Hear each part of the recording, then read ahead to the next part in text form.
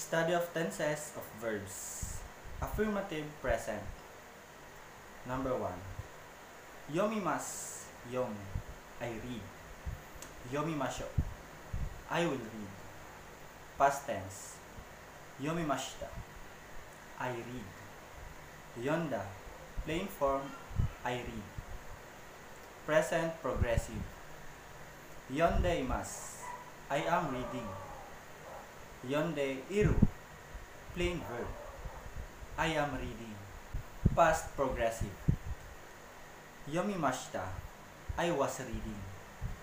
Yonde itta, plain form. I was reading. Negative present. Yomimasen, I do not read. Yomonai, plain form. I do not read. Past tense. Yomimasen dashita, I did not read.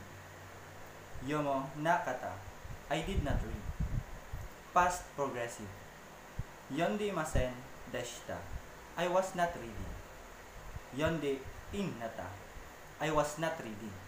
The above forms, when used in sentences with a I as personal pronouns, the, watakushi, wa, can be omitted if it is understood.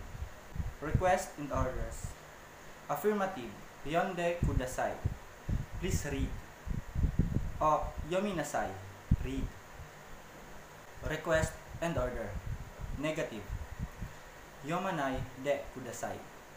Please do not read. Yomuna. Do not read. Words for study.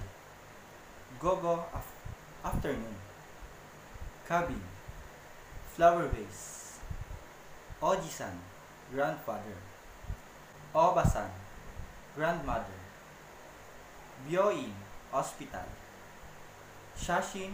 Picture. Ningyo. Doll. Hai. Fly. Honne. Bone. Hato. Dove.